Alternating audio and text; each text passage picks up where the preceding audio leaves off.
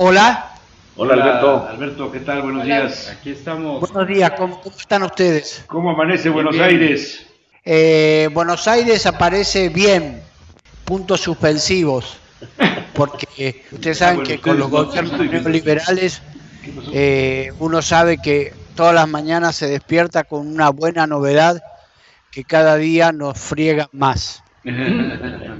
Oye, este, nosotros aquí en México y bueno, tal vez por la influencia de los Estados Unidos, celebramos hoy el Día del Amor y la Amistad. Ajá, acá eh, también. En Buenos Aires, ¿cómo es esto? ¿También se celebra de la misma manera los corazones, los globos rojos? Nada más que eh, el gobierno actual, como el conjunto de la clase política, nos han preparado un festejo especial que es eh, tomando la retórica del Día del Amor y la Amistad, nos proponen y nos someten a mm, la forma que tenía Al Capone de celebrar ese día con la famosa matanza eh, mm, del Día del Amor y la Amistad de San Valentín. Lo que pasa es que la gente es mal pensada y no recordaba que Al Capone venía de Italia y que en Italia la fiesta, eh, si no me equivoco mucho, provenía de las Lupercalias, una vieja fiesta eh, pagana, ¿no? Y entonces Al Capone les hizo pagar a todos sus amigos eh, las cosas que él consideraba que le debían. Sí, en efecto, hoy aquí también es el Día del Amor y la Amistad. Entonces, por eso, eh, yo quería proponerles que entre amigos compartamos algo, Voy a comenzar leyendo un pequeño poema que, eh, a mi entender, está dedicado a los psicoanalistas, a los analistas. El poema dice el poeta, el poeta es un fingidor, finge tan completamente que llega a fingir que es dolor, el dolor que en verdad siente. Aquellos que leen lo que escribe en el dolor leído se sienten bien, no sienten los dos dolores del poeta, solo aquel que ellos no tienen. Y así en estos rieles enredados gira para distraer a la razón ese tren de juguete que se llama corazón.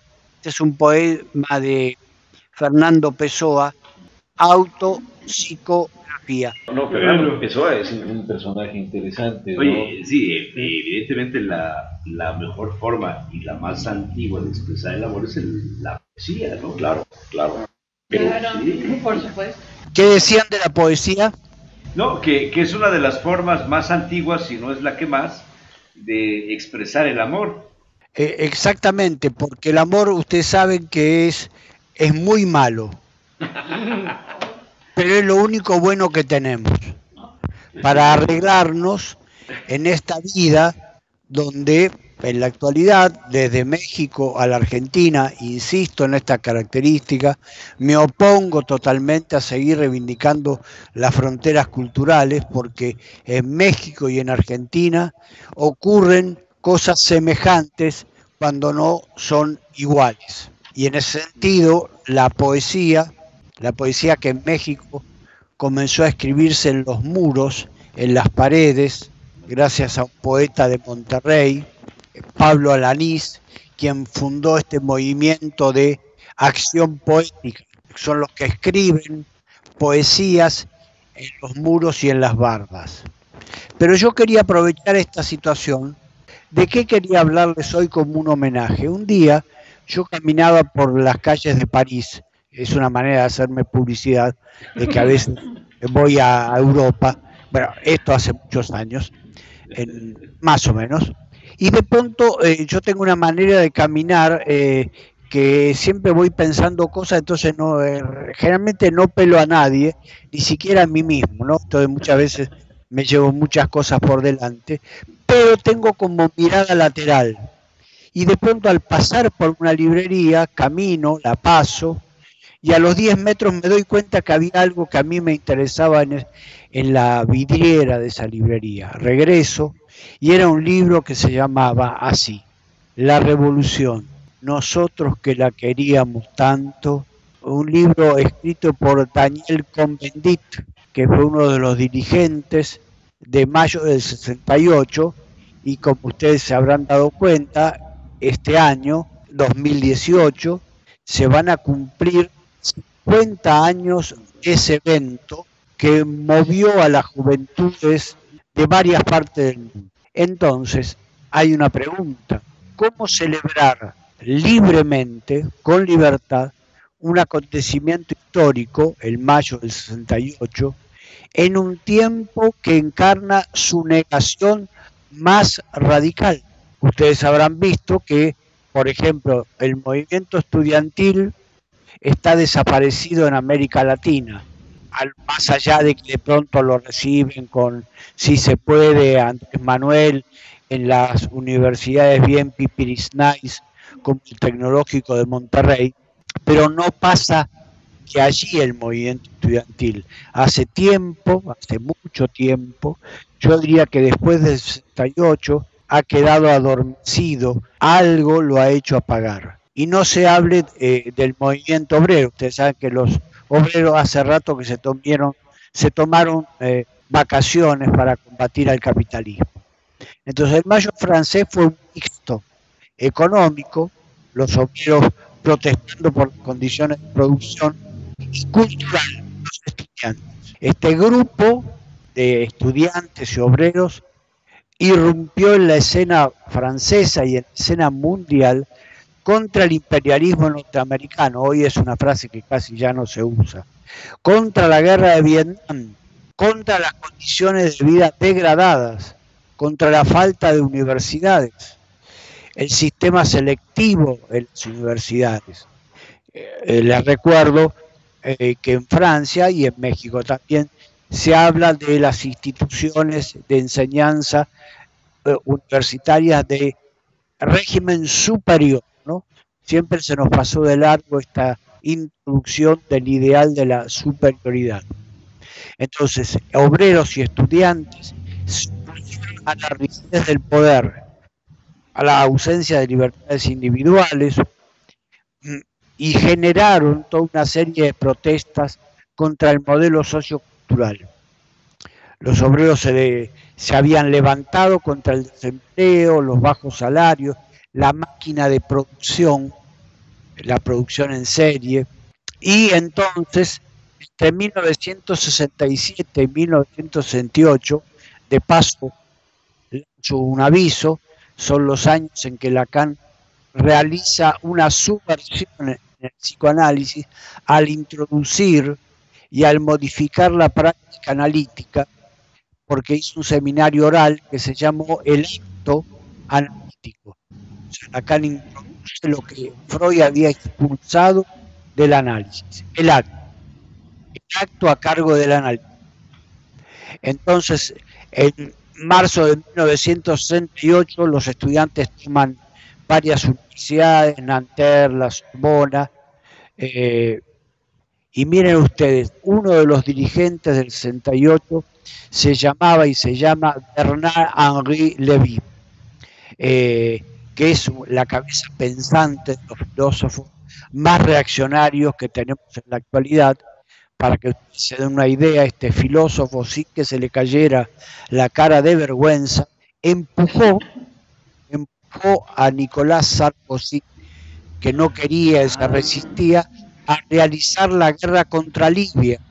Incluso Bernard Henri Lévy estuvo en el frente de batalla operaciones, operaciones que llevaron a, la muerte de 700.000 libios, a la destrucción de un país que entre comillas era tan atrasado que la energía eléctrica era gratuita, las mujeres no estaban obligadas a llevar el vapor, había agua corriente en todas las casas, se tenía acceso a la vivienda, las universidades funcionaban a pesar que quien gobernaba vivía en una tienda, eh, recuperando la vieja tradición de los bereberes en el desierto. Entre otras cosas, vivía en una tienda porque era la manera que tenía de evitar que los democráticos occidentales le clavaran algún misil para terminar con su vida.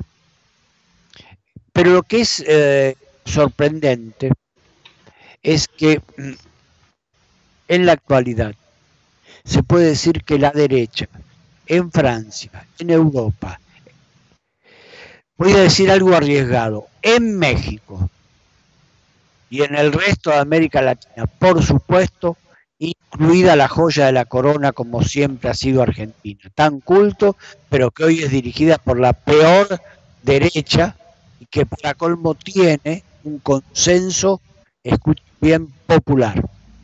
O sea, la derecha ganó la batalla cultural desde fin del siglo XX a principios del siglo XXI. Incluso en Francia en estos días se realiza una conmemoración de mayo del 68 a la cual primero iba a participar su actual presidente Macron. Macron cuando se produjo el 68 solamente tenía nueve años de edad. Eh, entonces había dicho que él iba a participar porque era un evento histórico, etcétera, etcétera, etcétera, pero como siempre aparecieron las encuestas de que la gente ya no ve con buenos ojos celebrar la revolución y entonces, eh, a pesar de que él explicó que sin dogmas ni prejuicios y que la presidencia deseaba reflexionar, de todas maneras se retiró y no participa. Para terminar mi comentario, el colmo de los colmos es lo siguiente. Ustedes saben que en estas épocas del año, eh, eh, que comienzan nuevas temporadas, las fabricantes de ropa, eh, que suelen tener marcas muy conocidas, disculpen que voy a pasar un aviso, una de ellas, la tribu Gucci, Gucci, italiano, que decidió que este año su ropa va a conmemorar la insurrección del 68. Y entonces eh, la firma propone hacer un flashback temporal a mayo del 68. Mm. Para entonces sus modelos aparecen con posiciones posando en cosas, fotos semejantes a las que hacían los jóvenes del 68. Hoy los jóvenes rebeldes de Gucci toman un campo universitario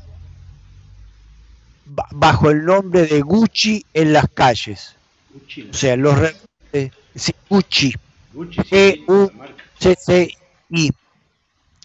Eh, Gucci en las calles, se llama publicidad.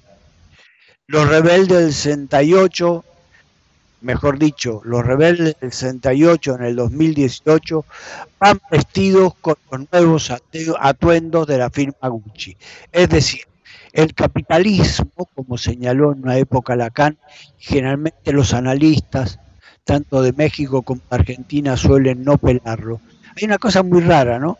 Hay mucha didáctica de los textos de Lacan pero no abunda mucho la práctica de tomarlos en serio, porque Lacan decía que el capitalismo es una máquina que devora todo que cuando no deja nada sin incorporar, se, se fagocita todo lo que se le pone por delante. Por ejemplo, bueno, vamos a usar al 68 francés para vender ropa eh, es interesante porque en ese mismo año Lacan, para que no se convirtiera el psicoanálisis en arreglar los efectos secundarios que produce el sistema, introdujo en la práctica analítica el acto, un acto que siempre es cercano al acto de la poesía. Bueno, esto es lo que yo tenía para decir, fue muy extenso, si quieren comentar algo y si no me retiro. Ah, muy bien, muy bien Alberto, muchísimas gracias. Sé, que tienes tienes cosas pendientes, me habías dicho. Pero dos, minutos los puedo escuchar, ¿eh? hasta tres. Ah, bueno. oye, oye Alberto, este, eh, hubo algo que mencionaste, y no sé si por ahí va, los movimientos han desaparecido, no hay movimientos obreros, no hay movimientos este, estudiantiles, no hay movimientos quizás ciudadanos, ¿no? Y tiene quizás, no sé si que ver con esto que tú mencionas, antes de que existan esos movimientos, eh, el capitalismo se los fagocita. Sí, es un, es lamentablemente es un fenómeno mundial. Eh, si ustedes recorren a los filósofos e intelectuales que quieren combatir al actual sistema, van a encontrar la desorientación, porque hoy la clase obrera es el pilar del capitalismo. Los estudiantes quieren hacer muchas cosas menos la revolución. Los ciudadanos no tienen ningún problema en convertirse en consumidores. No sé si ustedes sabían esa moda que hay en la Argentina de que siempre estamos a la vanguardia. En la Constitución argentina se ha declarado al consumidor como un derecho constitucional. Qué barbaridad. Qué Algo interesante acá este, que está pasando en los libros de primaria es que ya se quitó el término revolución. Y esto es bastante grave porque se ha manejado como, como una rebelión ahora en lugar de revolución. Llama la atención con lo que tú estás diciendo, ¿no? Sí, sí, el, miren, el capitalismo, si puede hacer negocio y lo está haciendo, eh, con la venta del capital, el libro de Marx, lo hace. No le hace el feo a nada. Ah, Mientras la izquierda siempre decía, no, esto no porque esto es capitalismo, aquello no porque es capitalismo, lo otro no porque... Entonces terminaron fagocitándose a, a la misma intelectualidad. Este debate que hay hoy en México, por ejemplo, donde hay algunos intelectuales que no dejan de, de, decir cosas que yo creo que son ciertas, de que AMLO es autoritario, de que mm, no le hace mucho a la democracia, etcétera, pero para ganar las elecciones. Se dedican a criticar eso mientras dejan a los demás truanes sin tocarlos con el pétalo de una rosa, ¿no? Está bien. Muy bien, Alberto. Bueno. Pues feliz día de la amistad. un, saludo, amistoso para ustedes. Eh, Por muchos eh, años, Alberto, que nos hemos conocido. ¿eh? Saludos hasta Buenos Aires. Perdón, los voy a saludar a la manera argentina. Un gran abrazo y besos. Aquí en la Argentina les voy a comentar algo. Era tal el terror de la dictadura que un dirigente sindical con el cual yo eh, estuve preso instaló la cuestión de que en mi época no se usaba, de darse un beso con sus compañeros. ¿Saben por qué? Porque no sabían si al otro día iban a estar vivos. Ah, caray. Vivos. Y entonces, hoy día, cuando ustedes saludan a un amigo o a una amiga, sin discriminación, besitos. Entonces, es para todos ustedes. No se lo tomen a mal. Buena anécdota, Alberto. Buena anécdota. Muchas gracias. Un abrazo y besos.